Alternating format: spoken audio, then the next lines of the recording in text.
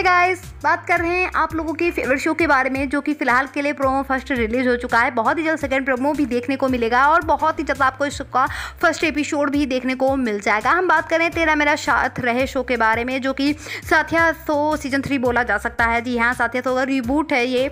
सो यहाँ हम बात करने वाले जैसा आप जानते होंगे कि ऑडियंस की काफ़ी बड़ी डिमांड है कि राशि को वापस लाना चाहिए। सो यहाँ पर दो सवाल उठते हैं। राशि वापस आएगी या परिधि? क्योंकि जिगर जी की पत्नी दोनों ही हैं।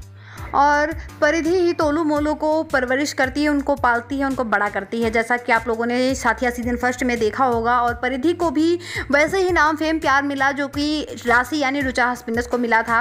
और परिधि के रियल नेम की बात करें तो लवलीना, उनका रियल नेम है लवलीना कौर। सो फ़िलहाल के लिए वो भी अपने लाइफ में सेटल हैं, जी हाँ शादी कर चुकी हैं और एक प्यारी सी बेबी की माँ भी बन चुकी हैं, जैसा कि रुचा हस्पिनस के साथ है। सो इन दोनों में किसे अप्रोच किया जाएगा? क्या दोनों ही आएँगे एक साथ? नज़र ऐसा तो पॉसिबल नहीं है।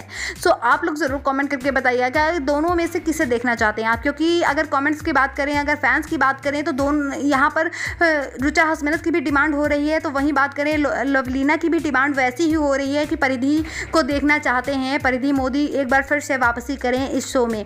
सो so, किसको मेकर्स अप्रोच करते हैं यह काफ़ी बड़ा सवाल है। क्या मेकर्स राशि को अप्रोच करते हैं? अगर राशि शो के लिए साइन नहीं करती हैं तो क्या फिर परिधि को अप्रोच करेंगे? या फिर राशि के ही कैरेक्टर को रिप्लेस किया जाएगा। अगर देखा जाए तो परिधि के कैरेक्टर की बात करें तो यहाँ पर परिधि के कैरेक्टर को भी काफ़ी ज़्यादा प्यार मिला था। सो ऐसे में अगर परिधि की वापसी कराई जाती है तो वाकई में टीआरपी में उछाल आ सकता है। आप कमेंट करके ज़रूर बताइएगा कि आप रुचा हसमिनस को देखना चाहते हैं या फिर परिधि को। अगर परिधि की बात करें यानी लवलीना की बात करें तो इन्होंने भी काफ़ी लंबा टाइम साथिया सीज़न फ़र्स्ट में निकाला है। अगर साथिया सीज़न फ़र्स्ट शो की बात करें तो वो लंबे टाइम तक ऑन एयर रहा था। सात से आठ साल तक ये शो ऑन एयर चला था, जहाँ पर परिधि की एंट्री करीबन चार साल तक तो रहती ही है इस शो में।